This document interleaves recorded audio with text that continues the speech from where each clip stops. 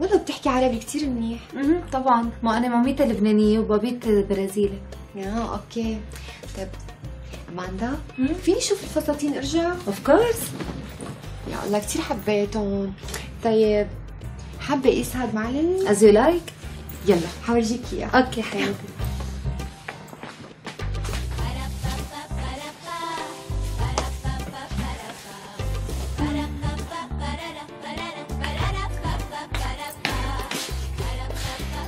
حلو؟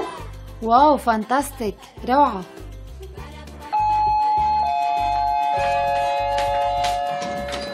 hi. hi وسيم تفضلي. منين هالفستان؟ منو هي؟ هي أماندا رفيقتي يا حرام اسمها باندا. sorry? باندا؟ أنا اسمي أماندا على فكرة مش باندا. stupid وشو بها تزاورت مني؟ لتكون هي عم تسبني؟ لك لا أيوه شو عم تسبك؟ عم تقول لك انت كثير حلوة. مم. بقى من ماركة عالمية أجنبية كتير مهمة. أنت أكيد ما بتعرفيها. أنا ما بعرفها؟ ليش لحتى أكون ما بعرفها حبيبتي؟ أنت بس قولي لي شو اسمها وأنا بقول لك إذا بعرفها أو لا. light lady معروفة حبيبتي معروفة. شوفي لي هالصبية اللي قاعدة. هي بقى الموديل تبعهم. يعني كل شي فساتين بيصمموها بتعمل عرض إلهن عن جد عم تحكي؟ wow. بس على فكرة أنت جسمك ابدا منه متناسق وبدك رياضة وبدك شوية حمية. بعدي هيك ولا بعدي؟ أنا اللي عم تحاكيني هذا الحكي؟ هذا الحكي إلي؟ هلا هي ليش هيك عم تحاكيني؟ لا بدك طولي بالك ام وسيم هي أبوها برازيلي يعني أجنبية الاجانب دج بدج ما بيعرفوا يجاملوا مثلنا عادي آه قلتيلي شو ست رولا؟ أنا جاية على بيتك لأتبهدل منك ومن رفيقتك يكون بعلمك وأنتي يكون بعلمك إنه جوزي أبو وسيم بيقول لي فشرت فشرت نعومي كامبل تطلع نقطة بحر جسمي. very funny عم تسبني؟ هي عم تسبني أكيد.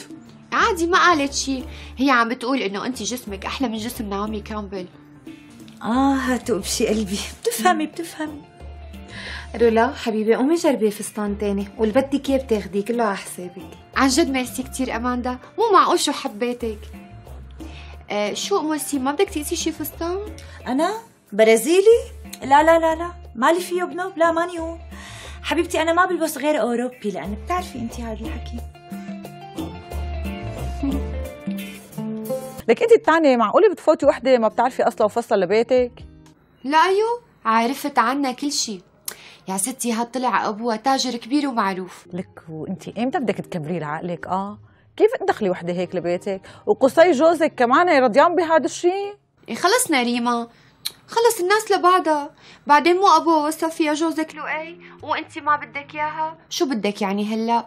لك أنت بتعرفي لو إنك استوعبتيها كانت اشتغلت عندك بالمحل. أيوه. إيه بس شو بدي أستفيد منها؟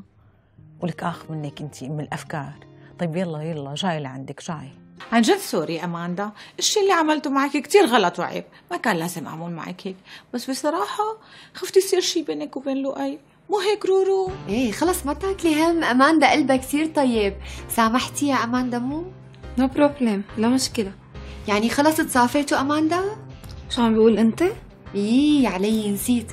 أماندا مو أبوها برازيلي وأمها لبنانية فمو دائما تفهم عربي.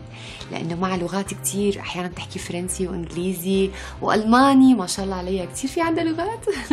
لأنه أنا كثير بسافر. إيه مزبوط. يعني سامحتيني هلا.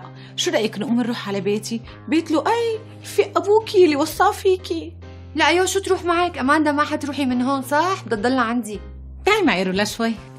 عن اذنك عارضة أزياء من البرازيل؟ مفاجأة ما؟ إيه. وكيف تعرفتوا عليها؟ يعني عن طريق الوكالة تبعها؟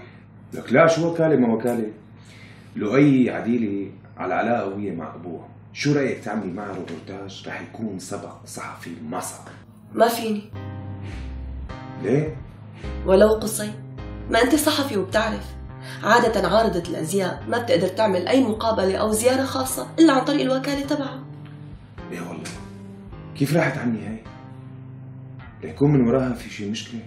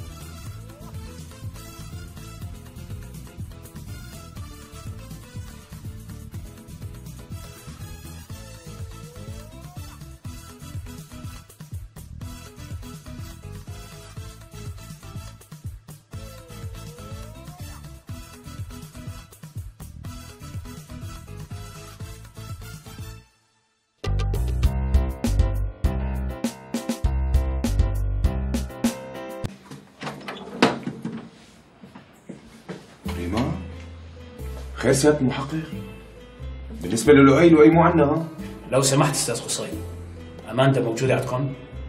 مطلوبة بشكل فوري. أماندا؟ ريما شو في؟ شو بقى أماندا؟ رفيقتك حبيبتي طلعت مطلوبة ونصابة. أماندا مطلوبة بعدة جرائم منها تهريب الألماس والآثار. مستغلة وضعها كعارضه أزياء والتنقل بين البلدان. لو سمحت سلمونا إياها وتفضلوا معنا نستكمل التحقيقات. يعني شو دخلنا؟ روح ناديلها لهي أماندا تعالي على عيونك تعي. أماندا. مرحبا رنو هذا أنت؟ طولي بالك وطي صوتك في عالم بالمحل. وقلك حين تجي على المحل كمان أقسم بالله لو ما كان في عندي ناس بالمحل لحتى شرشحك وبهدلك اطلع لبرا. اطلع لبرا؟ عم بتقلعيني من محلي وأملاكي. لك شو القسوه هي شو صار لك ولا اللي بده يخون بده يتحمل نتائج أفعاله اطلع لبرا لؤي ريما لك شبنا لك أنا لؤي؟ حبيبي صحيح أنا غلطت؟ وخلص والله العظيم ما عاد تنعاد بحياتها. لك أنت حبيبتي شبنا رمرو؟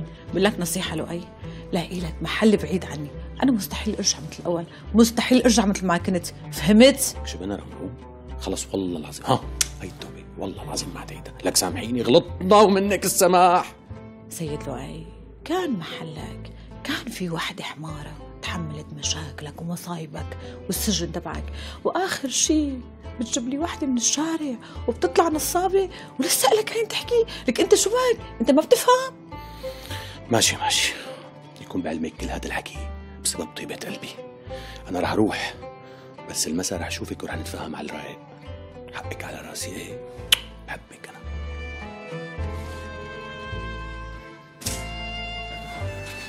لك العمى شو هالحظ اللي عندها بعد كل هالبهدلة اللي أكلها ولساته بيحبها بيعتذر لها كمان. هاي الدنيا حظوظ ليش لا؟ وزنا وطلبنا السدرة كان هدفي العيلي والعشرة. حبيتها من أول نظرة وصار المكتوب. جوزنا وهديت الحكاية أما رايحة وأمي جاي طلعت لي قصص خباية وشي مو محسوب. جوزنا وطلبت السدرة كان هدفي